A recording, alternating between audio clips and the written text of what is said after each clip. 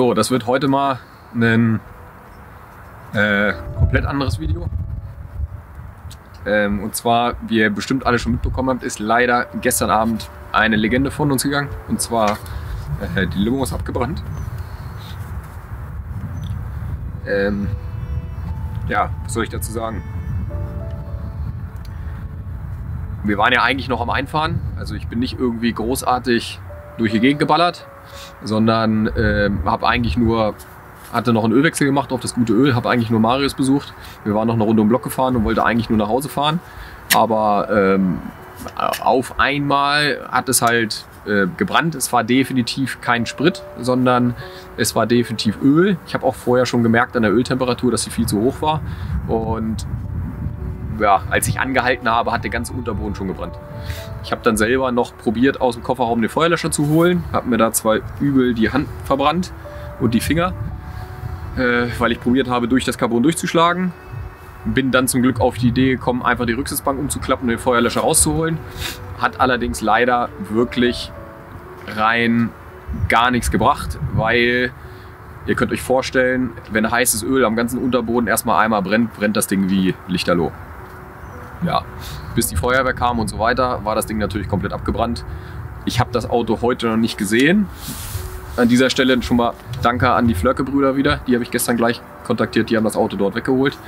Ähm, aber wenn ihr euch die Kennzeichen schon alleine anguckt, könnt ihr euch vorstellen, wie das Auto dazu aussieht.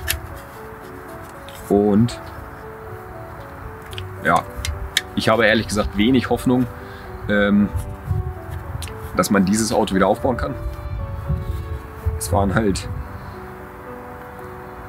zehn Jahre Arbeit, die halt in fünf Minuten abgebrannt sind. Aber steckt man halt nicht drin. Man darf immer nicht vergessen, das Ganze, was wir hier machen, ist und bleibt halt immer noch ein bisschen, ich sag jetzt mal, ähm, ja, Tuning halt. Das heißt, es kann halt jederzeit immer mal was passieren. Ich hoffe, ihr nehmt es nicht ähm, zu krass. Ich finde es auf jeden Fall schon mal mega geil, wie ihr euch alle im Internet darüber beteiligt, das Auto postet, es als Legende seht und so weiter. Weil ja, das Auto war halt eigentlich der Hauptlebensinhalt äh, von mir in den letzten zehn Jahren. Und ich glaube auch, dass dieses Auto ähm, dafür verantwortlich war, dass ich halt jetzt einfach so bin, wie ich bin. Um das so zu sagen. Ich weiß, äh, dass ich ein Top-Team um mich herum habe. Mit Marius und Joni und so weiter. Wir werden das Ding auf jeden Fall wieder aufbauen. Ich befürchte, es wird leider nicht mit der Karosse gehen. Man muss mal gucken, inwieweit jetzt wirklich der Brandschaden da, wie tief der gegangen ist. Problem ist einfach nur, als ich dieses Auto vor zehn Jahren gebaut habe, damals konnte ich bei Audi noch radikal alles neu kaufen. Ihr kennt es ja vielleicht aus den alten Videos, wo ich schon mal ein bisschen drüber gesprochen habe. Das heißt, ähm, Teppich, Mittelkonsole, Lenkgetriebe, Türpappen, Scheibenrahmen, Dichtung. Es war wirklich leider alles neu. Das heißt, da bin ich jetzt auf jeden Fall auch auf eure Hilfe angewiesen. Ich möchte nicht irgendwelche gebrauchten Teile einfach geschenkt bekommen, sondern falls irgendwie einer von euch noch irgendwelche Neuteile rumliegen hat oder jemand kennt, der noch was hat oder so, ich möchte das Auto wirklich eins zu eins wieder erschaffen, wie es halt war, weil dieses Auto war halt für mich auch perfekt. Das heißt, selbst wenn ich jetzt neu, neu aufbaue, wüsste ich nicht viele Sachen, die ich anders machen kann. Und ähm, ja, dementsprechend, ich denke mal, dass Audi sich da auf jeden Fall auch noch beteiligen wird und so weiter, ähm, dass wir da möglichst viele Teile wieder zusammenkriegen. Ja, die Jungs warten schon. Marius ist auch vollkommen fassungslos. Der kam gestern direkt hin. Ich war alleine unterwegs. Ich hatte ihn gerade abgesetzt und ihr könnt euch vorstellen, den einen oder anderen habe ich ja von vor Ort aus angerufen. Ich denke mal, das war in dem Moment auch kein, keine schöne Situation äh, wenn ich äh, heulend anrufe und sage hier, äh, mein Leben brennt gerade ab. So übertrieben gesagt. Ne? Dieses Video ist nicht, ähm, weil ich irgendwie äh, Mitleid haben will oder ähnliches. Ich sehe es einfach nur als meine Pflicht, ähm, euch einfach aufzuklären, dass ihr Bescheid wisst, weil es gibt nichts Schlimmeres, als wenn man in der Unwissenheit bleibt, ähm, damit ihr einfach alle wisst, was mit dem Auto passiert ist, wie der aktuelle Stand ist und wie es jetzt weitergeht ja, ich würde sagen, so viel erstmal dazu. Ähm, ich würde sagen, wir versuchen, gucken mal, ob wir uns das Auto mal angucken. Ja, okay. Was allerdings nicht einfach wird.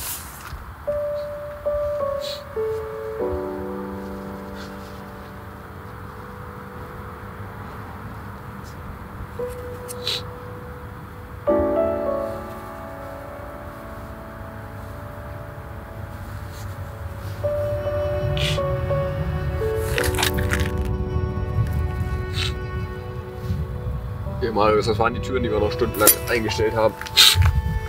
Boah, krass, Alter.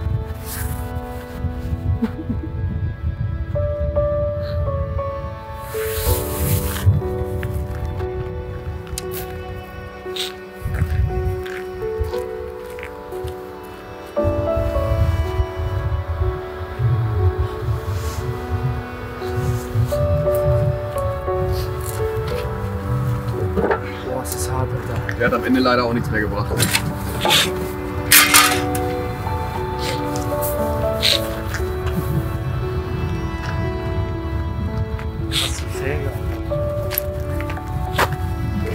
So schnell, so heiß geworden alles, dass selbst.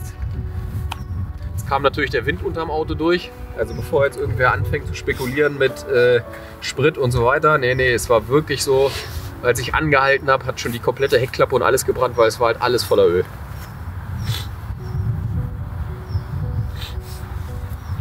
Hier siehst du noch, wie alles angefangen hat. Ja. Hast du das hier angesetzt oder Audi? Nee, das wusste ich vorher auch nicht. Das ist eine neue Erkenntnis, habe ich gestern auch schon gesehen. Ähm, das ist scheinbar so. Weil auf der Seite ist es nicht so heiß geworden. Hier. Hier. Das ist ab Werk hier auch verlötet. Das heißt, das, ah, ist, okay, das hat, das- aber ist wahrscheinlich in einem Teil nicht zu fertigen. Ist. das ist die Erkenntnis, wo wir halt die Carbon-Seitenteile ansetzen können. So, die Seite sieht seitenteilmäßig eigentlich noch ganz gut aus. Hier haben wir nur leider beim Hochheben noch eine kleine Beule reingemacht, aber was soll's. Ähm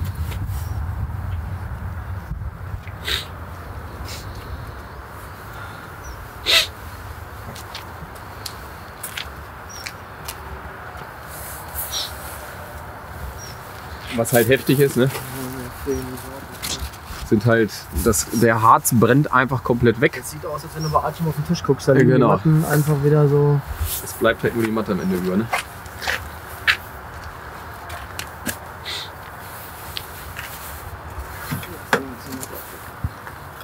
Ja. Das war halt auch so eine Sache. Ich konnte damals vor zehn Jahren noch niegelnagelneue Aluspiegel kaufen.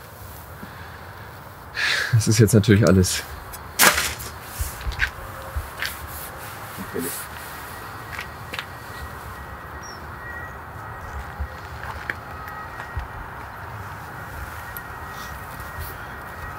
Das war mal ein Carbon-Kotflügel.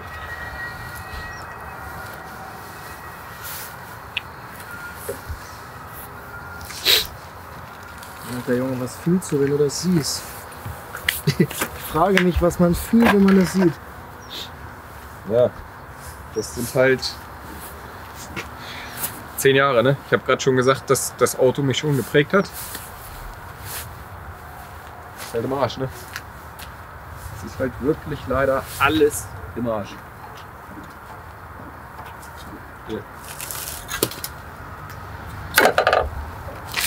Und es sind halt leider so viele Teile bei, die es einfach auch gar nicht mehr gibt. Hier. Alleine wie viele Stunden ich in dieses Druckrohr, also in dieses Y-Rohr investiert habe.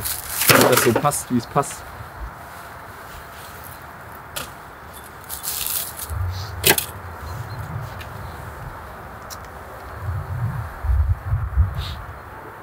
Die Krake, da liegen allein 50 Stunden. Ja, stimmt, ja. Hier. Guck mal, selbst das ist so heiß geworden, dass das Alu hier komplett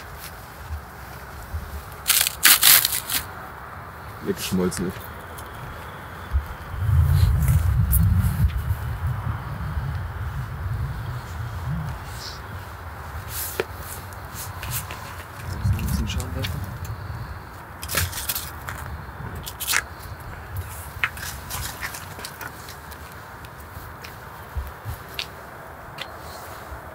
Wir haben jede Schraube selber in der Hand gehabt, ne? Ja. Jede einzelne. Ja, es gibt leider nicht eine einzige Schraube, die ich an dem Ding nicht angefasst habe. Ich würde jetzt gerne sagen,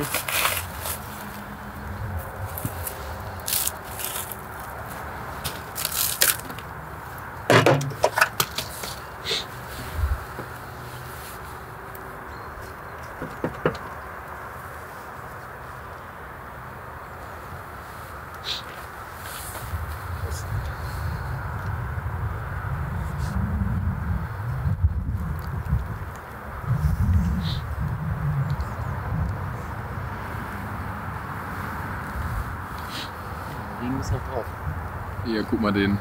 Unfassbar heiß das gewesen sein müssen. Hier. Eigentlich ist es ja schon wieder witzig, ne? Man sieht halt genau diese Kotflügelform noch, ne? Aber es ist kein bisschen Harz mehr drin, ne? Hier sieht man sogar, dass es halt mehrlagig war, ne? Wie die fehlen, das ist schon Es ist komplett alles weg. Das ist in dem Moment dann wie eine Kerze, ne? Das Wachswing drin. Ja. Boah, Junge, Alter. Wirklich innerhalb von Minuten, Sekunden zerstört. Und das Traurige dabei ist, wenn wir irgendwas falsch gemacht hätten, wenn irgendwie ein Unfall passiert wäre, wir irgendwelche Rennen gefahren wären, was weiß ich, dann ist das immer noch mal was anderes, als wenn man wirklich nur seinen Kumpel absetzt und nach Hause fährt. Das ist halt einfach Pech, es ist halt scheiße gelaufen. Ne? Manchmal hat man Glück, manchmal verliert man.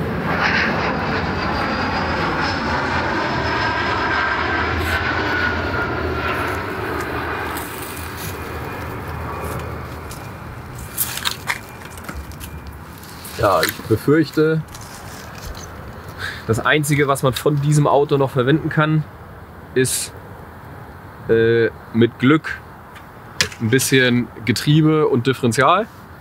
Dieser ganze SQS-Schaltknopf ist weg, ne? Äh, dafür muss man allerdings garantiert die Gehäuse tauschen. Also mit Glück sind die Innereien noch brauchbar. Ähm, mit Glück können wir so ein bisschen Ansaugbrücke, vielleicht Krümmer und Turbos noch so ein bisschen nehmen. Aber im Großen und Ganzen ist es einfach, einfach zerstört.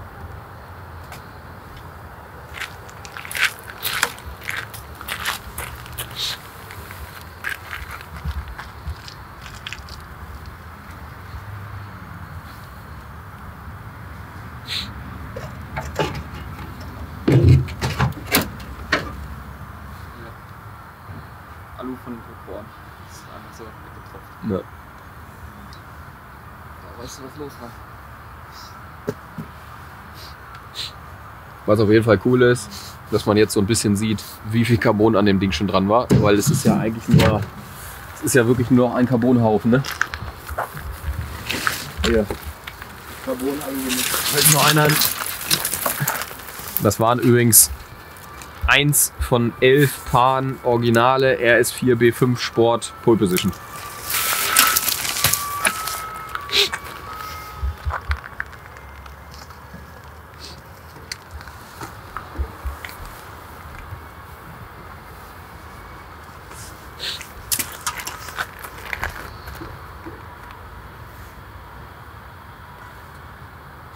Der, guck mal, der ganze, das ganze Bodenblech ist auch wellig und so, ne? Ja. Das kannst du vergessen. Weißt du noch, wie wir hier die Flex angesetzt haben, um das Dach reinzumachen? Ist einfach unfassbar, wie viel, viel Sachen man damit verbindet, ne? Für mich das krasse ist eigentlich, dass Tuning Hannover dieses Auto war, fand ich. Mir fehlen die Worte, Alter. Natürlich sind wir alle froh, dass er da heile rausgekommen ist, versteht das nicht falsch, aber es ist einfach unfassbar viel Arbeit. Hätte auch noch schlimmer kommen können, ne?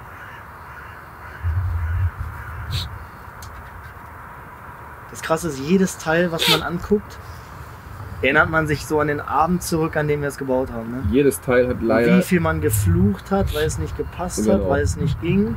Nochmal wieder ausgebaut. Und es war halt auch leider alles perfekt, ne? Egal wie viel Geld ich bekomme, egal wie auch immer, ne? Man kann es wirklich leider nicht viel besser bauen. Das ist ja das Ärgerliche, weißt du?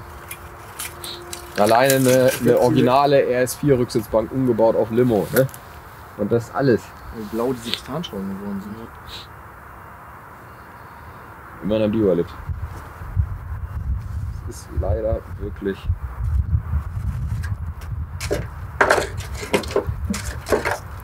Eigentlich könnte man übertrieben gesagt das Ding so nehmen auf den. Ne? Man denkt immer so, wenn so ein Auto brennt, ach ja, wird am Ende nicht so schlimm sein. Nein, am nächsten Morgen werdet ihr zur Realität zurückgeholt. Es ist wirklich leider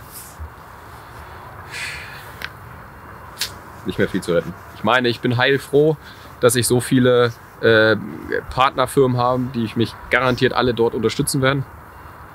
Dass wir das Auto wieder so aufbauen, wie es war, aber es wird halt niemals wieder das Auto sein.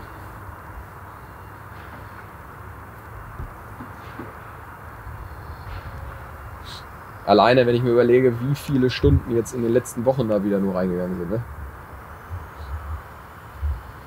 Ja, Wie viele Stunden da vorm Wörthersee mal reingegangen sind. ja. Alleine an der Stelle nochmal, ihr erinnert euch vielleicht an das letzte Video, wo ich noch gesagt habe, ich hatte vorm, vor der Essen Motorshow schon irgendwie ein komisches, komisches Gefühl und bin schon gar nicht mit dem Auto rumgefahren. Jetzt wisst ihr, äh, warum. Ich wusste, ich habe es irgendwie gespürt. Sollte einfach nicht sein. Äh, ne, Der Krampf mit den Türen und so. der jetzt eine äh, R8 GT aus äh, Bremsanlage. Wo willst du sowas nochmal herkriegen halt, ne? Vorhin war neu, ne? Und alles neu. Es war wirklich an dem Auto alles neu. Egal ob es damals, ich habe ja damals selbst bei Audi noch Klimabedienter neu gekauft. War Mhm. alles unabgegriffen und alles neu.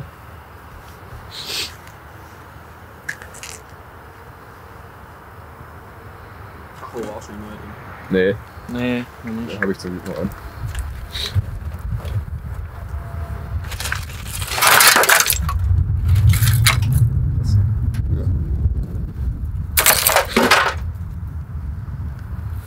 Was schätzt du, wie viele Arbeitsstunden hier stehen?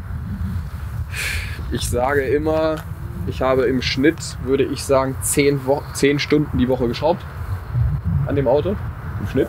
Elf Ja. Jahre, 50 Wochen oder was haben wir? Genau, 52? 52 Wochen, 10 Jahre 500 sind äh, 520 Wochen, sind 5.000 bis 8.000 Stunden.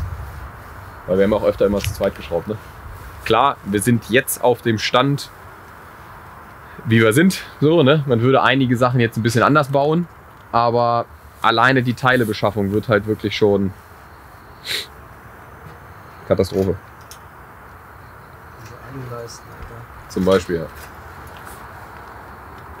Tja, ich würde sagen, äh, in diesem Sinne, äh, das war jetzt definitiv das letzte Video für dieses Jahr. Wir haben zwar noch ein, zwei, drei Videos schon fertig produziert, die kommen auf jeden Fall noch. Ähm, aber nehmt es doch nicht übel, wir werden uns jetzt auf jeden Fall erstmal kurz ähm, ein bisschen zurückziehen. Werden uns eine Platte machen, wie es mit dem Auto weitergeht. Also was heißt, wie es mit dem Auto weitergeht? Mit dem Auto wird nichts mehr passieren. Das ist alles Müll, das ist Schrott. Die Legende ist definitiv gestorben. Es ist und bleibt definitiv mein Traum. Das heißt, ich werde auf jeden Fall eine RS4 Limo wieder bauen. Und ähm, ja, ich hoffe, ihr feiert einfach weiterhin das Auto. Bis zum nächsten Mal. Mm-hmm.